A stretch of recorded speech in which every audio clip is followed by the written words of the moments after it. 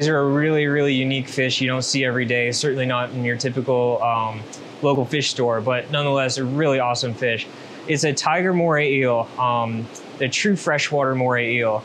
Unlike some that are sold in the trade as freshwater that are really brackish or saltwater animals that are acclimated over and tend to not do well long term, these guys are found in true freshwater areas, well inland, and they're collected on West Papua, Indonesia, and Papua New Guinea. Uh, they're beautiful species, really hardy in captivity, um, don't get gigantic, and live a really long time. They're interactive like most moray eels, and they have a beautiful yellow and gray pattern with black modeling uh, that just gets more defined with age. So, really unique, awesome fish uh, for the high-end fish keeper or somebody who wants something truly unique for their tank.